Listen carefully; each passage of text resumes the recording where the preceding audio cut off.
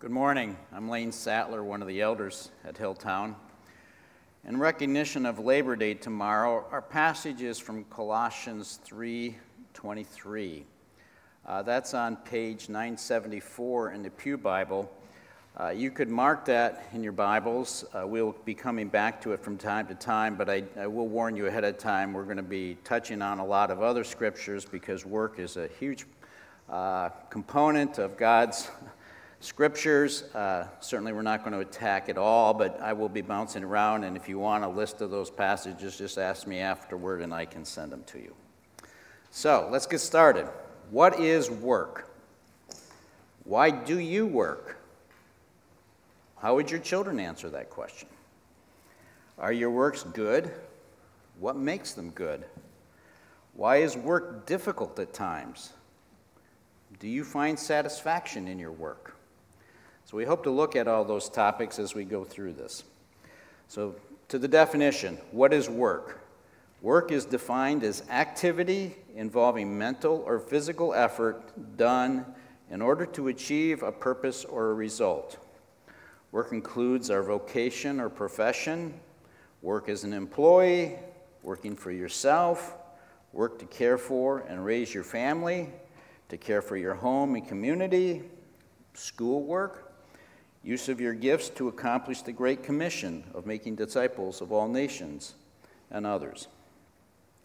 This brings us to point one why do we work? Is this some grand conspiracy to keep us busy? Is this a necessary evil? We work, point one, we work because God works. As recorded in Genesis 1, God made the world in six days. Later, when confronted with the Pharisees' accusations of working on the Sabbath, Jesus answered them, My Father is working until now, and I am working. John 5 17. So God is working. He worked at creation. He continues to sustain us by His power. He's working out His plan in each of our own lives.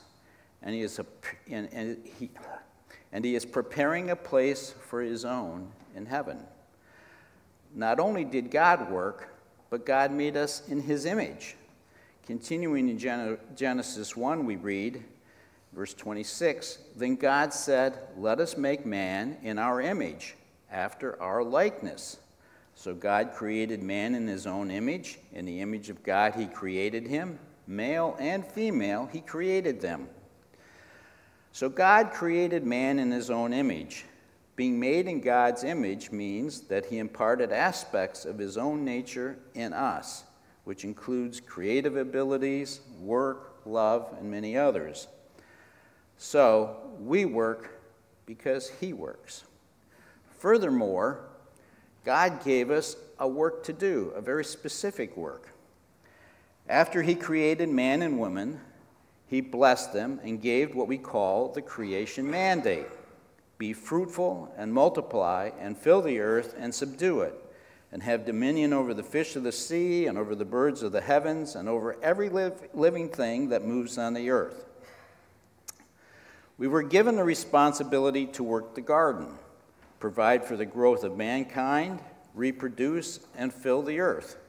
This would have involved all activities for building nuclear and extended families, communities, tribes, etc. God concludes Genesis 1 at the end of day 6 with God saw everything that he had made, and behold, it was very good. So, why do we work? Because at creation God worked. He made us in his image and assigned us a magnificent work and declared it all very good. One could conclude that God was satisfied with his work. We'll talk about satisfaction later. But how did that all turn out? Have we been fulfilling his crea- creation mandate? Are we good? Is our work good? Well, you know what happened. Point two the fall made work difficult. Man wanted to be like God and would not obey, obey one simple command. Thus, all that was good was corrupted. And in his judgment, God exiled man from the Garden of Eden, with these words To the woman, he said, I will surely multiply your pain in childbearing. In your, chi- in your pain, you shall bring forth children. Your desire shall be contrary to your husband, but he shall rule over you. And to Adam he said, Because you have listened to the voice of your wife, and have eaten of the tree of which I commanded you, you shall not eat of it. Cursed is the ground because of you. In pain you shall eat of it all the days of your life. Thorns and thistles it shall bring forth for you, and you shall eat the plants of the field. By the sweat of your face you shall eat bread. Genesis 3 16 through 19. As a result of the fall, the entirety of nature was corrupted. As Paul notes in Romans, for the creation was subjected to futility. Romans 8:20. Consequently, the work of men and women became much more difficult. It also reflect, affected our relationships, making them more difficult. We still have the creation mandate, but it is difficult. So, in summary, for point two, our sin made good work and all work more difficult. This brings us to point three. Good work requires the right attitude. When Paul addressed believers about how they should regard work in the context of Roman society, as much as, uh, as half of the population were slaves, it is in this context that we find our text for today. To, to, for today. Slaves, obey those who are your human masters in everything, not with eye service as people pleasers, but with sincerity of heart, fearing the Lord. Whatever you do, do your work heartily as for the Lord and not for people ah, knowing that it is from the Lord that you will receive the reward of the inheritance. It is the Lord Christ whom you serve. Colossians 3 22 through 24 again. Paul provides a perspective, an attitude that gives us to a way to make even the most difficult work redeeming and good. It is a principle that Paul consistently applied to himself introducing himself in his letters as the bondservant of Jesus Christ. This attitude did not originate with Paul, but Jesus himself, we read in Philippians 2, who though he was God, emptied himself, taking on the form of a bondservant. The attitude is this we should work as for the Lord even when the conditions are tough and certainly when they're not. We should work as, so as to please Him. So, whether it is a difficult boss, a difficult customer, a difficult spouse, a difficult teacher, a difficult coach, a parent who you think is difficult, a difficult person we serve at church, we should work as for the Lord and not for them. Then our works will be good, for they show our love for God. One note of caution doing good works does not guarantee ease or immediate success. Many assume, as I once did, that because you do the right things, choose a noble path, or do something God specifically led you to do, that your task will be easy and trouble free. Ever get yourself there? Such a notion is a lie of the devil and has led many to falsely fear in times of difficulty that God is not happy with them. Did Joseph, Daniel, David, and Jesus have easy lives? Were they not doing the will of God? Was God not pleased with them? Of course not. He was very pleased, even though and maybe because their lives were very difficult. We should recognize difficulties as God's good work in our own lives, shaping us into His image. We'll get to that more later.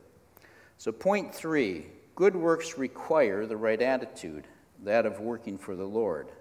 Such work shows God and the world our love for God, especially when we do it in difficulty. Next, we will look at point four biblical objectives for good work. What, what work should we be doing? First, good works provide our daily needs. Paul elaborates for the Thessalonians for, for even when we were with you, we used to give you this order if anyone is not willing to work, then he is not to eat either. For we hear that some among you are leading an undisciplined life, doing no work at all, but acting like busybodies. Now we command and exhort such persons in the Lord Jesus Christ to work peacefully and eat their own bread. 2 Thessalonians 3 10 through 12. Likewise, from Proverbs, a worker's appetite works for him, for his hunger urges him on. Proverbs 16 26 and 27. And again, Paul, this time to Timothy. But if anyone does not provide for his relatives, and especially for the members of his household, he has denied the faith and is worse than an unbeliever. 1 Timothy 5 8. God makes it clear that we are to provide for ourselves and our families. Objective two good works provide for generosity. From Paul to the Ephesians Let the thief no longer steal, but rather let him labor, doing honest work with his own hands so that he may have something to share with anyone in need. Ephesians 4:28. Our work should not only provide for our own needs, but yield sufficient extra for those in need. When Paul was encouraging the Corinthians in their preparation of a gift to the believers being persecuted in Jerusalem, he used an agricultural, agricultural analogy to explain God's, God's economy of generosity. Quoting, The point is this Whoever sows sparingly will also reap sparingly, and whoever sows bountifully will also reap bountifully. Each one must give as he has decided in his heart, not reluctantly or under compulsion, for God loves a cheerful giver. And God is able to make all grace abound to you, so that having all sufficiency in all things at all times, you may abound in every good work. As it is written, He has freely distributed freely, He has given to the poor, His righteousness endures forever. He who supplies seed to the sower and bread for food will supply and multiply your seed for sowing and increase the harvest of your righteousness. You will be enriched in every way to be generous in every way, which through us will produce thanksgiving to God. 2 Corinthians 9, 6 through 11. Paul adds instructions to Timothy. As for the rich in this present age, charge them not to be haughty, not to set their hopes on the uncertainty of riches, but on God, who richly provides us with everything to enjoy. Richly provides us with everything to enjoy. They are to do good, to be rich in good works, to be generous and ready to share Thus, storing up treasures for themselves is a good foundation for the future, so they may take hold of what is truly life. 1 Timothy 6 17 through 19. Pro- Proverb, Proverbs, which I'm going to quote quite a bit, and reinforces Paul's explanation regarding generosity. One gives freely, yet grows all the richer. Another withholds what he should give and only suffers want. Proverbs 11:24. And again, one who is generous will be blessed because he gives some of his food to the poor. Proverbs 22:9.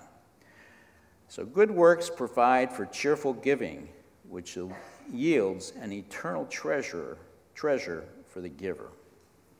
The third objective, good works provide for future needs.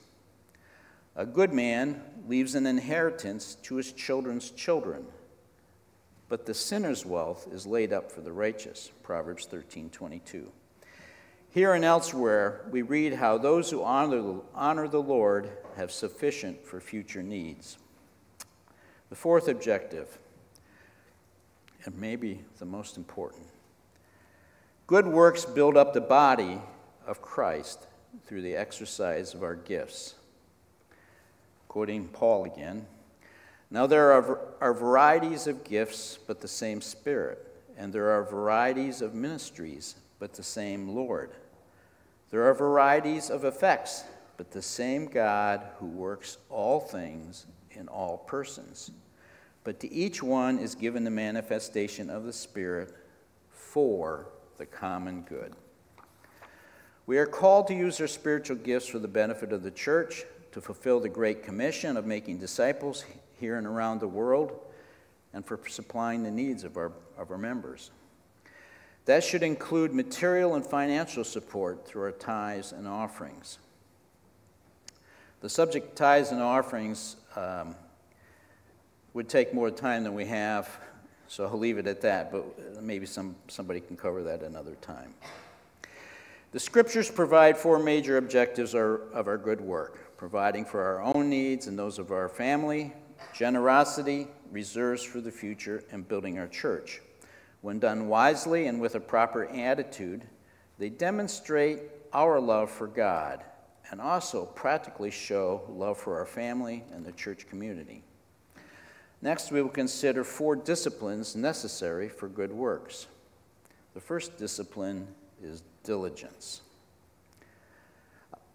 For our young folks, diligence, keeping at it, doing it consistently, persevering. Diligence is a common theme in Proverbs. And I quote The Lord does not let the righteous go hungry, but he thwarts craving of the wicked. A slack hand causes poverty, but the hand of the diligent makes rich. He who gathers in summer is a prudent son, but he who sleeps in the harvest is a son who brings shame. Proverbs 10 3 and 5 through 5. And diligent hands will rule, but laziness ends in forced labor. 1224. And in all toil there is profit, but mere talk tends only to poverty. 1423. The following two proverbs come to my mind when I am tempted by the billion dollar Powerball jackpot or when I see ads promising quick profits. Those who work the land will have abundant food, but those who chase fantasies have no sense. Proverb 12:11. And an inheritance gained hastily in the beginning will not be blessed in the end. Proverbs 20:21. The next proverb uses a quaint term, the sluggard, someone who moves slowly like a slug or a sloth. The sluggard says, There is a lion in the road, there is a lion in the streets. As a door turns on its hinges, so does a sluggard on his bed.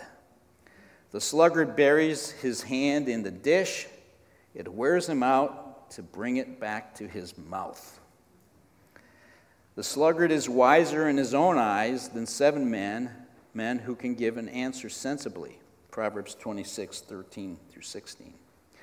Note that the sluggard is not only amazingly lazy, but he lets improbable fears paralyze him, and he deceives himself into thinking that he is wiser than other.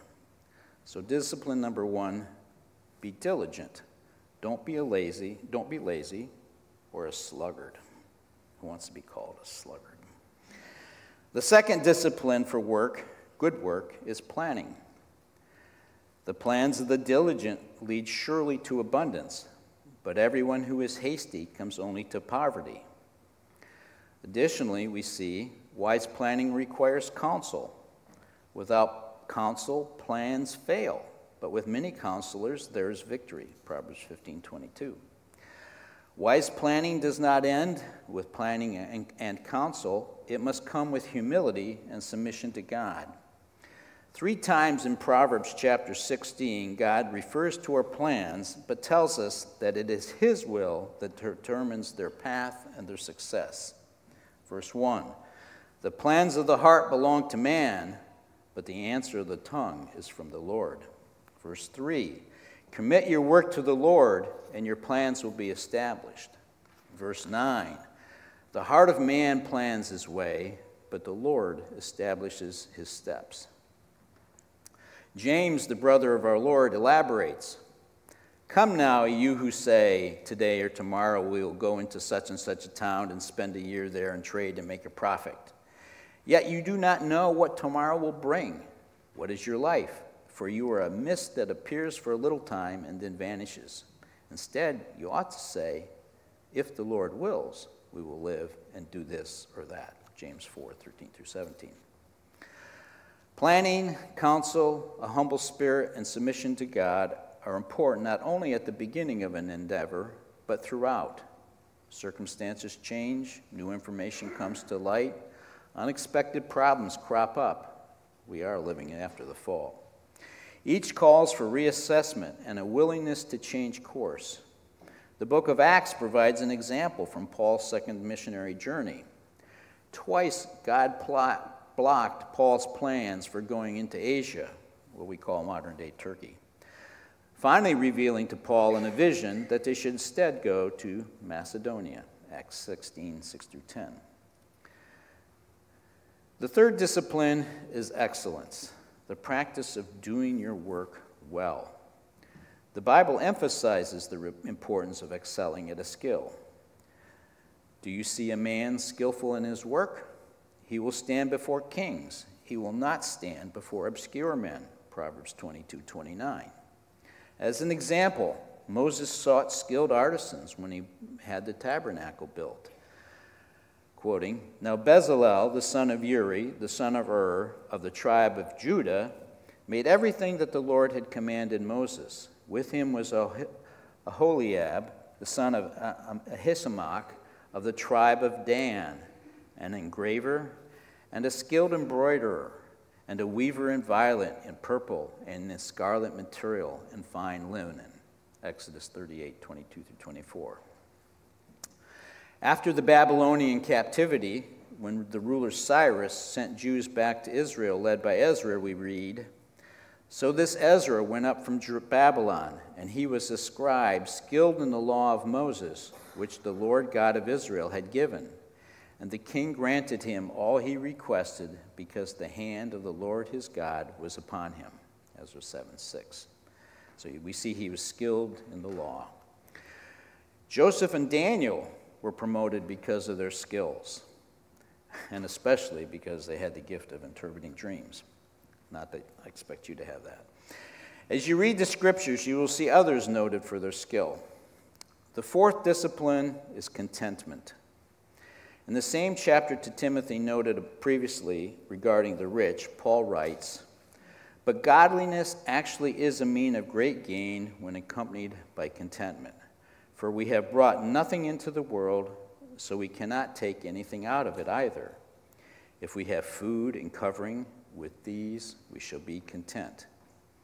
But those who want to get rich fall into temptation and a trap and many foolish and harmful desires which plunge people into ruin and destruction. For the love of money is the root of all sorts of evil, and some, by longing for it, have wandered away from the faith and pierced themselves with many griefs. 1 Timothy 6 6 through 10. Proverbs made the same point 900 years earlier. Do not weary yourself to gain wealth, stop dwelling upon it. When you, see, when you set your eyes on it, it is gone. For wealth certainly makes itself wings like an eagle that flies toward the heavens. Proverbs 23, 4 and 5. So we have four disciplines for good works diligence, planning, excellent, and contentment. The next point good work is satisfying. We should find good work satisfying. Satisfaction is easy to see when you finish painting a room or setting the table or dressing for school. It may take more reflection and patience when you're trying to learn piano, to teach a child manners, obedience, and respect, or if you work on an assembly line where each day is no different than the one before. For the children, I have a question. Have you ever had an infant brother or sister at home? What can they do for themselves? Yeah, pretty much nothing. They must be fed, dressed, changed, carried, bathed, burped, and cuddled. They cannot even lift their heads, but gradually they learn. They learn to hold up their head, to smile, to put their fist in their mouth, to roll over, grab things with their hand, sit, put food in their mouth, crawl, walk, and talk. Have you ever noticed as they get older that sometimes they don't want to be helped? Maybe like when they're putting on their shoes. They say, No, do it myself. Or do it self, as one of my grandchildren say. Have you ever said that? Why? Does it make you feel good that you can do something yourself? Yes, that is a feeling of pride, success, or satisfaction in doing something. Why do you have those feelings? Because God made you in His image. He made you to work, to be creative, to do things for yourself, to help. He made you so that you find joy or satisfaction in that effort. That is what I mean when I say that good works are satisfying. When Solomon pursued the meaning of life in Ecclesiastes, one of his conclusions was there is nothing better for a person that he should eat and drink and find enjoyment in his toil. This also I saw is from the hand of God. For apart from him, who can eat or who can have enjoyment? For to one who pleases him, God has given wisdom, knowledge, and joy. But to the sinner, those who don't, who reject him, he has given the business of gathering and collecting only to do to give to one who pleases God. Ecclesiastes 2:24 and following. Solomon points out satisfaction from toil, but no, true joy is reserved for those who please God.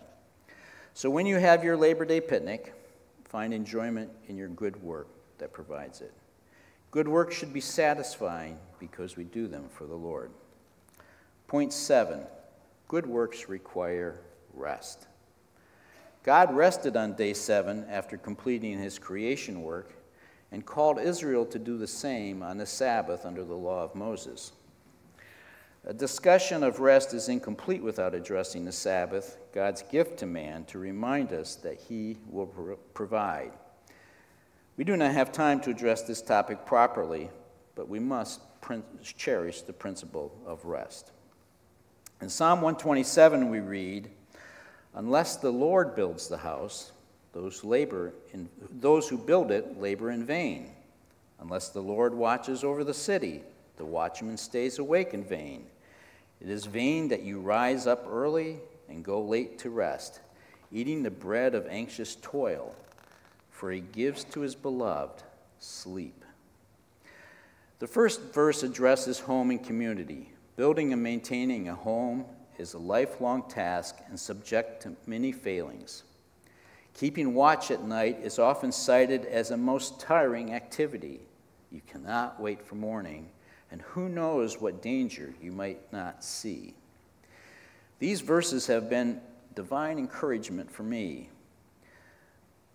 When you have done all that you can do, when you have run out of time, when you have no energy, put your work in God's hand and rest. He gives us sleep. He will work in our sleep. I have had him clarify issues when I awake in the middle of the night.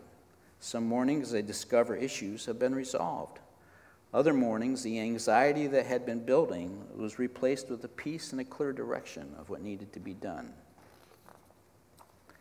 So, wrapping up point seven good works need rest. And now, our last point good works are evidence of our faith. There have been many messages from this pulpit that emphasize that salvation is not by our good works, but by faith. We heard one recently from Habakkuk, from Habakkuk chapter 2. Usually, these messages quote Ephesians 2 8 and 9. For by grace you have been saved through faith. And this is not your own doing, it is the gift of God, not a result of works so that no one may boast. And so it is. But verses 8 and 9 are followed by verse 10, which could have been the passage for today's message.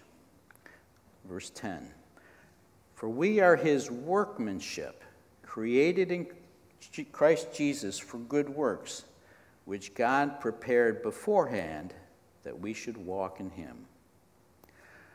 Our good works are the natural and proper response to the great salvation we have received. God has given us a new heart and empowered us with the Holy Spirit so that we can participate in the great work and plan of God. The Greek word for workmanship, the workmanship that God is doing, is poema, from which we get the word poem. Each of us is a unique poem that God is writing in our lives, expressing his glory through our deeds. What poem is God writing in your life? So, in review, point one, we work because God works.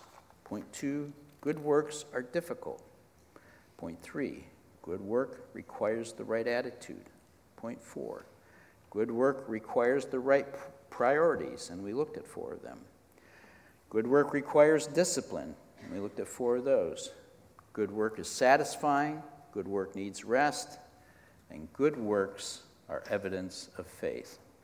So, once more for our passage. Whatever you do, do your work heartily as for the Lord and not for people, knowing that it is from the Lord you will receive the reward of inheritance. It is the Lord Christ whom you serve. If you are a believer, be encouraged. You were made in God's image and thus made for work. Work was good the, from the beginning, even in, in Eden's perfect state. Though the fall has frustrated this work, God continues to call and empower you for good works. Take satisfaction and find, and find joy in what He is calling you to do. There is a reward for our good works. The scriptures supply extensive guidance about work and wise living. Seek it out. Start with Proverbs, but do not neglect the rest of the Bible. If you believe but, not have, but have not taken seriously the need, the joys, the benefits of honoring and glorifying the Lord with good works, today is the day to change course. Seek the Spirit's power and start working as unto the Lord.